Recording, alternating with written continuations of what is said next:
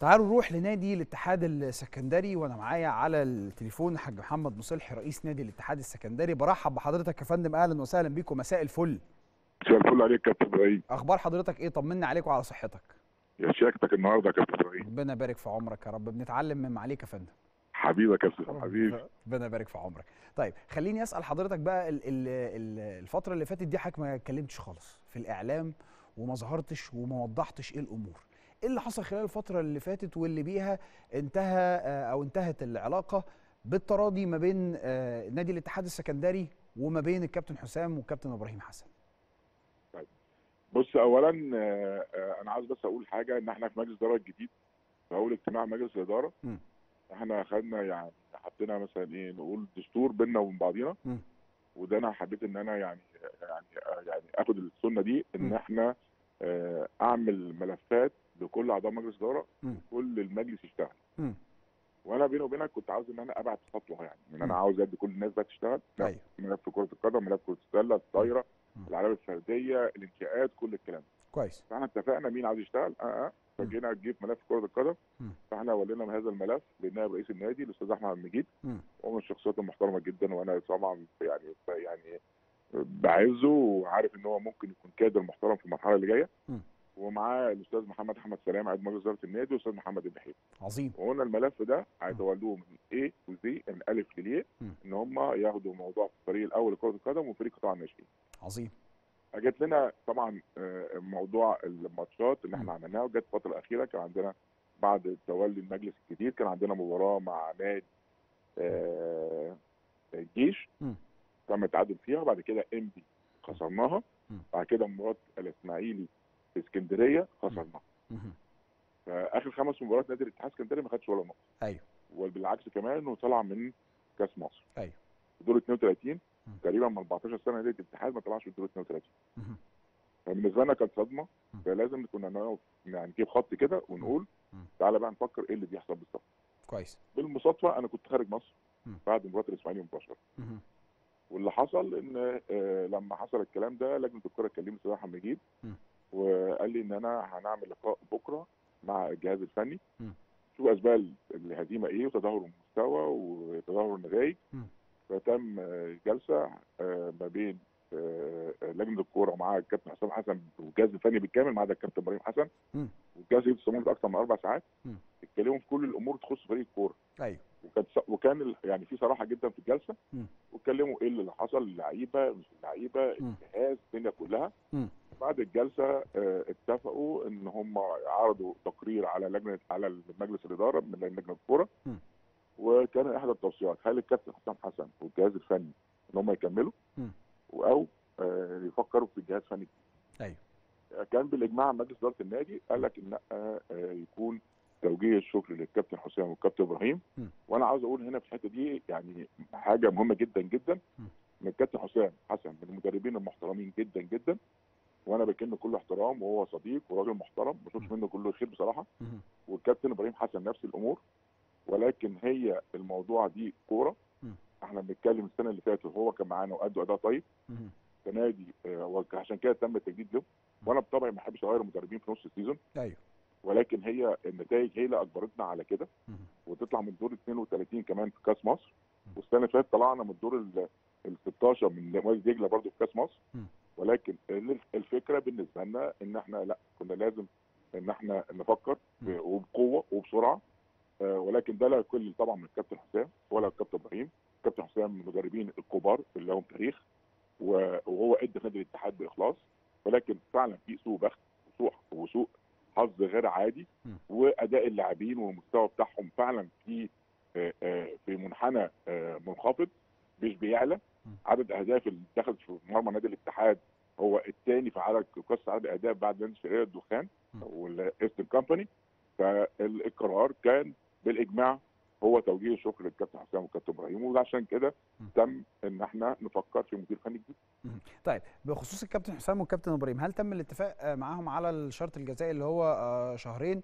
آه، هل اخذوه هل تم الاتفاق على التنازل عنه؟ أو على تراضي شكل يعني في تراضي ولا الدنيا مشت إزاي؟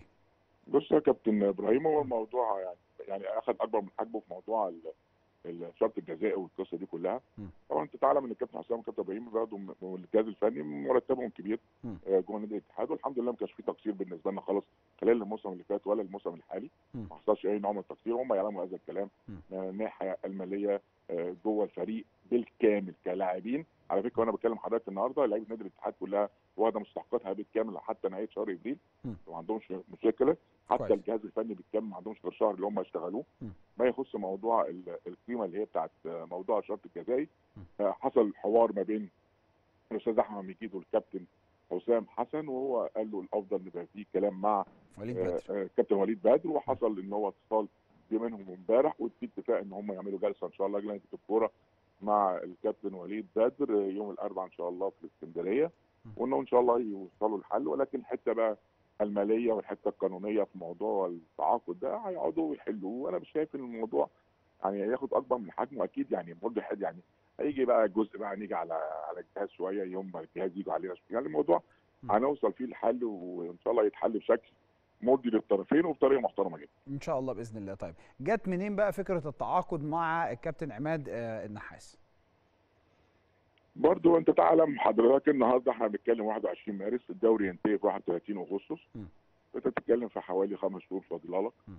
فانت عندك آه، النهارده انت واخد 12 14 نقطة من 12 مباراة وفاضل لك 22 مباراة م. يعني انت من 36 نقطة خدت 14 نقطة يعني انت ما كملتش السلسله. فده يعني بالنسبة لنا لا إحنا عايزين نفكر في اللي جاي.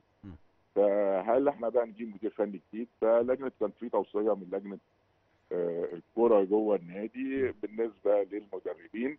هل مدير فني أجنبي؟ طب لا نأجل موضوع مدير فني أجنبي. كان حط النهاردة آه، بعض ال- الملفات أو بعض السيفيهات اتحطت في إن المدير الفني السابق نادي وادي دجلة على تكيس مدير- جونياس. م- آه برضه كان تم عرضه. واتعرض بعض المدربين المصريين اللي لهم باع كبير جوه جوه ال ال ال يعني الدوري المصري.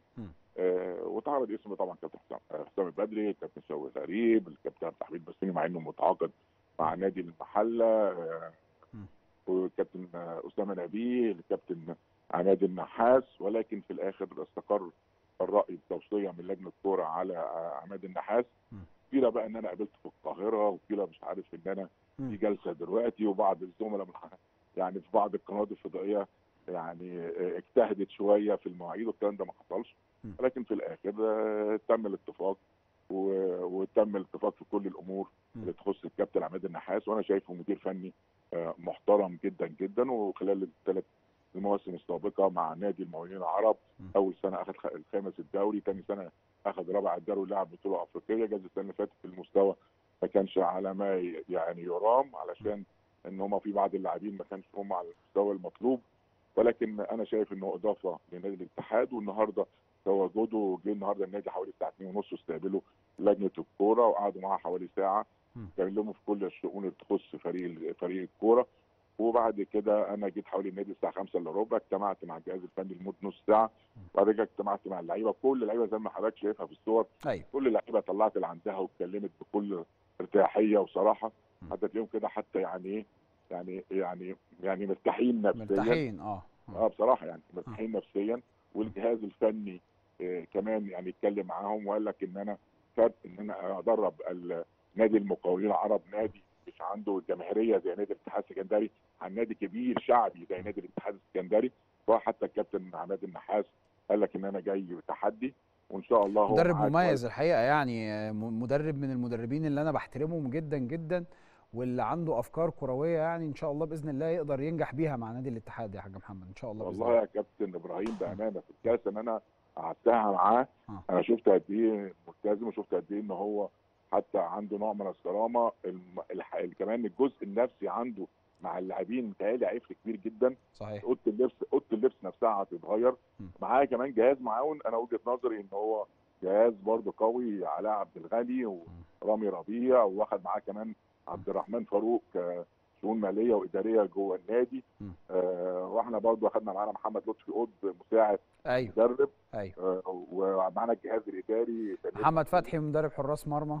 محمد فتحي مدرب حراس مرمى. ومعاه آه، آه، دكتور تأهيل. ومعاه دكتور لل... لل... للتحليل. محلل اداء محلل الأداء. ومعاه كمان دكتور تغذية. فلا، ما شاء الله system الفكر system الفكر آه. متغير واتمنى له إن شاء الله يعني فعلا التوفيق هو الجهاز الإداري والجهاز الفني والجهاز الطبي عندنا كمان رئيس جهاز الطب الدكتور عامل الاشم من الدكاتره محترمة جدا آه ولجنة الكوره بصراحة إن شاء الله يبقى لها فوش معاهم كده وفي ظهرهم أول بأول لغاية ما إن شاء الله يعني نعمل حاجة تليق باسم نادي الاتحاد إن شاء الله. التوقيت اللي أنتوا اخترتوه برضه هو توقيت مهم يعني تستغلوا فيه فترة التوقف إنه مدير فني جديد يبقى موجود يعني أعتقد إن دي كمان برضه كانت يعني آه، فيها دراسة يعني. بصراحة بص هو التايم جاي في حظنا بصراحة يعني جينا في جاي يعني في حظنا حضرتك أنت عندك توقف حوالي 20 يوم. آه دي كانت فترة طيبة إن أنت ممكن أنت يعني تغير ال ال يعني الجهاز الفني وتجيب جهاز فني جديد وتدي له فرصة إن هو يتدرب. ولكن أنا شفت حتى يعني يعني على فكرة الصور اللي أنا بشوفها دي. أنا بالنسبة لي إن هي حتى بود استقبال ال- ال- اللعيبة ليهم في غرفه لبس اللعيبة. آه كان استقبال طيب بصراحة واللعيبة كلها كانت شدد أنت بتشدد على فكرة انه غرفة ال- ال- اللبس آه، يعني آه، مهم إن هي تتغير مهم إن الأجواء تبقى أفضل يعني بالظبط. بالظبط والله يا كابتن إبراهيم يعني أنا بقول إن الناس كلها إن شاء الله عندها نوع من المسؤولية عندها نوع من التحدي إن يعملوا حاجة كويسة إن شاء الله وكان برضه حاضر معانا في اجتماع الأستاذ محمد خميس عيد مجلس إدارة النادي.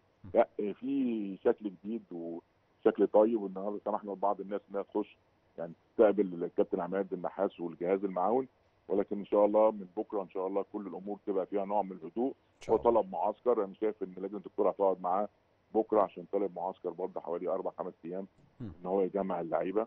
ولكن الحمد لله هو, على فكرة يعني. يعني كان مبسوط جدا جدا انه شاف نادي الاتحاد بشكله الجديد وشكله الجديد. فكان مستغرب نادي الاتحاد أوضة اللبس بتاعة المؤتمرات الجيم بتاعه لا كان سعيد بيه جدا م. وإن شاء الله حتى رامي ربيع قبل كده كان عندنا بيلعب في نادي الاتحاد وعبد الرحمن أيوة. فاروق كان بيلعب في نادي الاتحاد أيوه فاتبسطوا حتى إنه شاف نادي الاتحاد بالشكل ده اتغير أوي. لا اتغير الحمد لله مم. الحمد لله فأنا برضو يعني أنا يعني من خلال حضرتك إن أنا عايز أرجع تاني لل- للجزئية مهمة إن. أنا حابب إن أنا أوجه شكري للكابتن حسام حسن والكابتن إبراهيم حسن. على الفترة اللي هم قضوها في نادي الاتحاد السكندري وأتمنى لهم التوفيق. وأكيد إن شاء الله هنشوف حتة برضو في مكانة جميلة وكمان تليق بيهم إن شاء الله. وأتمنى كل التوفيق يا رب لمجلس إدارة النادي وللكابتن عماد آه النحاس المدير الفني المحترم الخلوق. إن شاء الله إن شاء الله نادي الاتحاد يطلع من اللي هو فيه وبشكل يليق إن شاء الله. إن شاء الله بإذن الله. حاج محمد أنا بشكر حضرتك شكرا جزيلا وبتمنى لحضرتك كل التوفيق إن شاء الله بإذن الله. ولنادي الاتحاد السكندري كل التوفيق. بشكر أيوة. حضرتك شكرا جزيلا.